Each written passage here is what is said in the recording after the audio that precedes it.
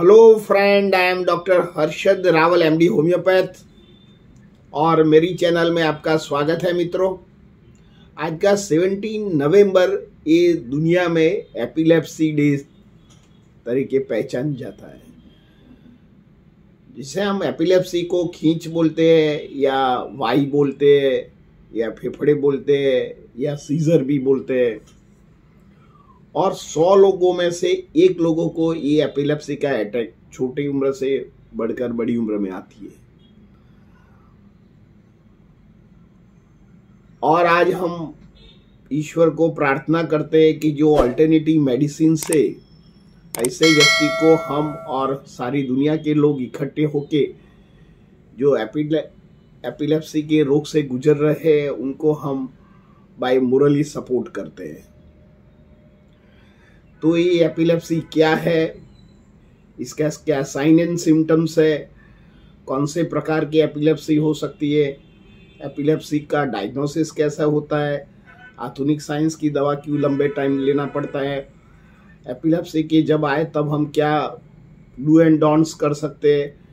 Epilepsy के लिए कुछ गैर मान्यता है, उसको भी हम डिस्कस करेंगे। और इसके लिए पाँच जो बेस्ट होम्योपैथिक मेडिसिन है, इसके बारे में हम चर्चा करेंगे।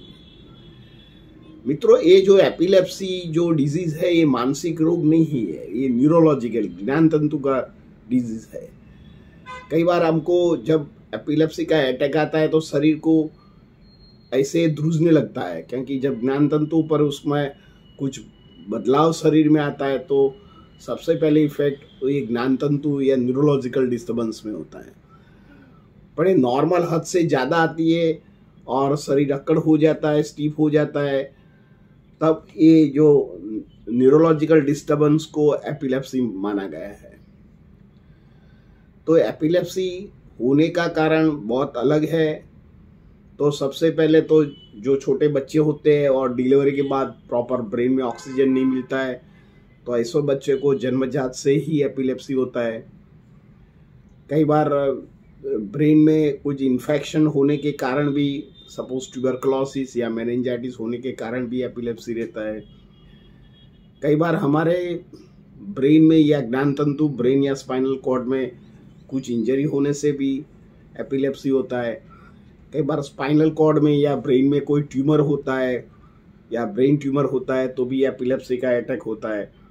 कई बार ऐसे नॉर्मल ट्यूमर या कैंसरस ग्रोथ कहीं भी हो सकता है। तो भी एपिलेप्सी का अटैक हो सकता है। कई बार हमारे शरीर में सोडियम या पोटेशियम की मात्रा में एकदम बदलाव आता है तो भी एपिलेप्सी होने का संभावना रहती है। ऐसे जो ऊपर के कोई भी सिम्टम्स नहीं हो और आपको एपिलेप्सी आता है तो थर्टी परसेंट केस में ये हेरिडिटेड भी माना गया है।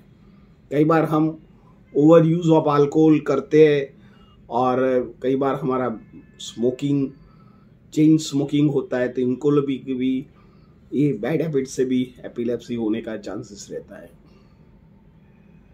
कई बार हम शुगर शरीर में वदगट होता है लो शुगर होता है तो भी एपिलेप्सी का अटैक दर्द को होने का संभावना रहती है। कई बार कोई ड्रग्स इंड्यूस के कारण भी शरीर में सपोज़ कोई ड्रग रिएक्शंस होता है तो भी एपिलेप्सी आता है। एपिलेप्सी जब आता है तो शरीर को दर्दी के एक बार कोई स्टैर दृष्टि से देखता है, शरीर स्टीप हो जाता है, मुँह में से सलाइवा और भी निकल जाता है, शरीर दर्दी गिर जाता है, शरीर अक्कड़ हो जाता है टेम्पररी इतना स्पाजम दर्दी को आता है तो हाथ पैर की जो नसें हैं वो खींचने लग जाती है। शुरुआत में ऐसे बिहेवियर जब पेरेंट या फैमिली देखता है तो घबरा जाता है। पर ऐसे केस में धीरे धीरे मालूम पड़ जाता है कि जो एपिलेप्सी का अटैक कहीं भी आ सकता है। दर्दी अक्कड़ हो जाता है, दांत भीसने लग जाता है सेमी अनकॉन्सियस हो जाता है। शुरुआत में उसको फेस में ऐसे ब्रेन में कुछ और निकलती है कि दर्दी को कुछ मालूम नहीं पड़ता है। तो ऐसे तरह उसके सिम्टम्स आते हैं।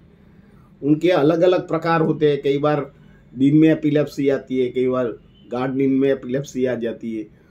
कई बार मेंस्ट्रुएशन साइकिल से पहले भी एपिलेप्सी आ जाती है।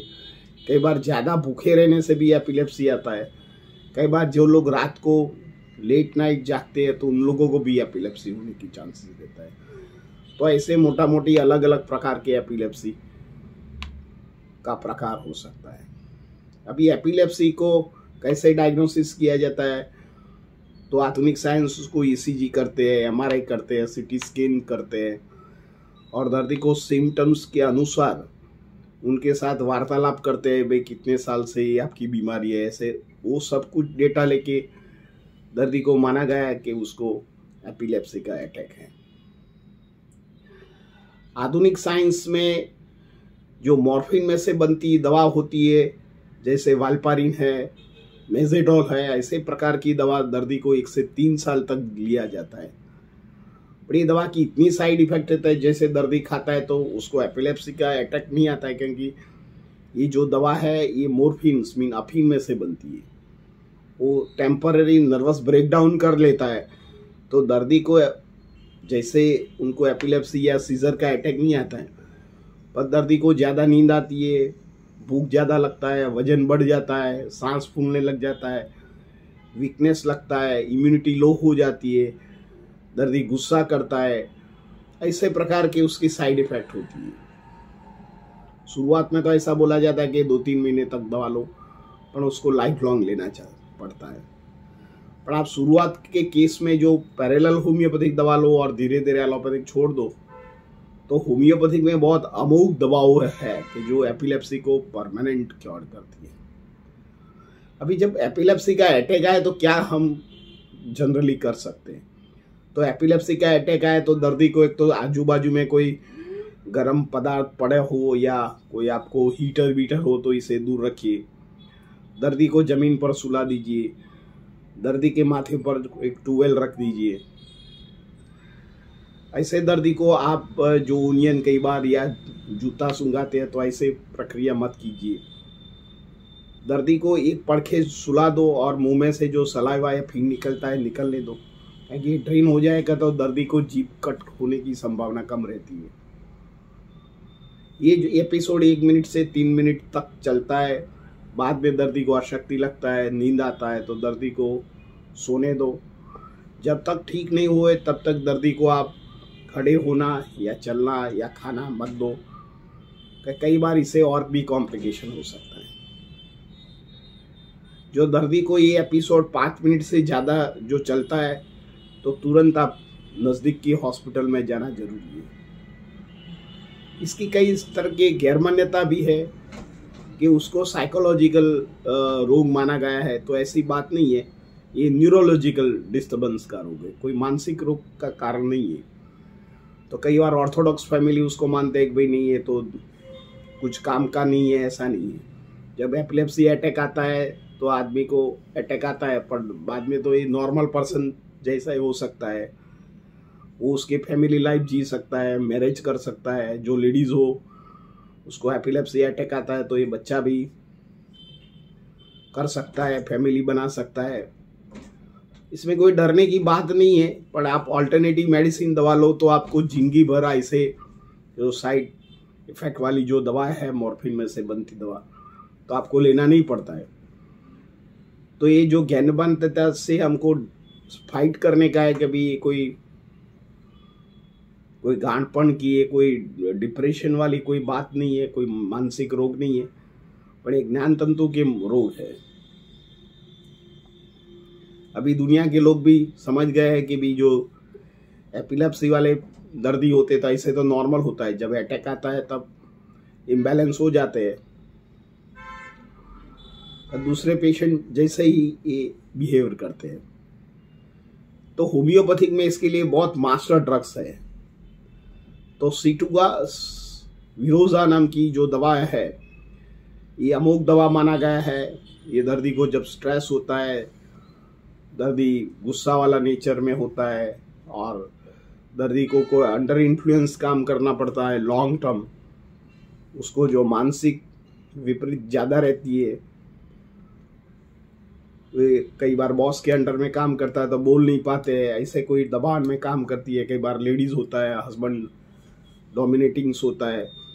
तो ऐसे फैमिली में जिसको, जो लेडीज़ को एपिलेप्सी रहता है या अंडर इन्फ्लुएंस को मेल को भी ऐसे कंडीशन में जो एपिलेप्सी रहता है तो ये cicuta is a great medicine second number दवा है हायोसाइमस कई बार दर्दी को नींद में डीप नींद में एकदम खींच आ जाए वीकनेस लगे, दर्दी को नाइट बोलने की हैबिट हो एंजाइटी रहता हो, और रेस्टलेसनेस दर्दी दिन में रहता है, उसको लैक ऑफ़ कंसंट्रेशन रहता है, आत्मविश्वास का अभाव रहता है, वज़न बढ़ने लगता है, दर्दी कोऑपरेट नहीं करता है, थोड़ा डिप्रेशन रहता है शॉर्ट टेम्पर तुरंत गुस्सा करता है, ऐसे ही प्रकृति वाले जो दर्दी होता है, उसको हायोसाइमस की दवा लेना चाहिए।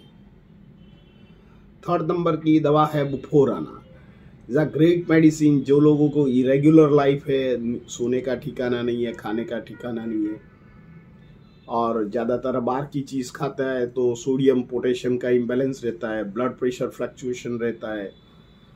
पेट में गैस बनती है वीकनेस लगता है, सारा दिन थॉट रहता है डिप्रेशन रहता है एंग्जाइटी रहता है। और नपुंसक दर्दी होता है, उनको जातीय शक्ति का अभाव रहता है, बच्चा पैदा नहीं कर सकता है। ऐसे कोई पुरुष हो तो उसको ये bufo rana is a great medicine तो थर्टी पोटेंसी में दो से तीन महीना दवा लेना चाहिए। फोर्थ नंबर की दवा है नक्सवामिका ये दवा हमारा इरेगुलर लाइफ हो और लेट नाइट बच्चे अभी जो सो जाते हैं डिप्रेशन में रहता है, पेट की शिकायत रहती है, वायु का इम्बेलेंस रहता है। कि ज़्यादातर है जो ये एपिलेप्सी है इज़ अ क्लासिफाइड अंदर वायु प्रकृति डिस्टर्बेंस के अंडर माना गया है। और homeopathic is a great medicine for the वायु या हाइपर एसिडिटी तो ऐसे केस में दर्दी को खुराक का पाचन नहीं होता है, गैस बनता है, और दर्दी को शुगर खाने की इच्छा होती है, और कॉन्स्टिपेशन रहता है, दर्दी को पास्ट में भी हेलिकोबैक्टीरियल इन्फेक्शन रहा हो या जुदे मरडे की जो शिकायत रहती है, बाद में उसको एपिलेप्सी रहता है तो ये नक्सवामी का is a great medicine fourth number की दवा है इग्नेशिया. ये जो दवा है लेडीज़ के लिए है, उसका टेम्परामेंट को किसने हर्ट्स किया हो, या कई बार उसका इंसल्ट हो गया हो ऑफ़िस में या घर में, और उसको सप्रेस किया हो, और ऐसे कंडीशन में उसको एपिलेप्सी आती है तो ignatia is a great medicine particularly जो ladies who are the very sensitive कई बार शॉर्ट टेम्पर रहती है, सारा दिन रोने लग जाती है, रात को नींद नहीं करती है थॉट प्रोसेस ज़्यादा आती है, बातों बातों में रो लेती है, हाथ पैर में वीकनेस लगती है, आँखों में उसको ब्लैकनेस आ जाता है फोकस नहीं कर पाती है, कई बार रसोई घर में भी खड़ी होती है तो भी कई बार उबाल आ जाता है, तब तब्दीली में तो उनको मालूम नहीं पड़ता है, क्योंकि इतना थॉट प्रोसेस रहता है और छोटी छोटी बातों में एंजाइटी कर देती है और जब मुहावरे में बैठता है, तब उसका एपिलेप्सी का अटैक आता है। तो ये दवा इज़ अ ग्रेट मेडिसिन तो ऐसे तरह ये जो हम वर्ल्ड एपिलेप्सी डे सेवनटीन नवंबर को हम मनाते हैं, ये रोग कोई मानसिक रोग नहीं है, ये शारीरिक रोग है और ज्ञान तंतु के रोग है। तो चलो हम साथ में बैठ के ऐसे दर्दियों के साथ हम अच्छी व्यवहार करें और अच्छी तरह उनके साथ कोऑपरेशन रखें तो उसको भी मोटिवेशन मिल सकता है और ये भी द पार्ट ऑफ़ सोसाइटी तो ऐसे हम प्रार्थना करते हैं ईश्वर को कि उनको भी नॉर्मल और मानसिक और शारीरिक शक्ति प्रदान करे। और मेरा ये जो वीडियो आपको अच्छा लगता है तो आपको फैमिली और फ्रेंड में शेयर करें। Thank you very much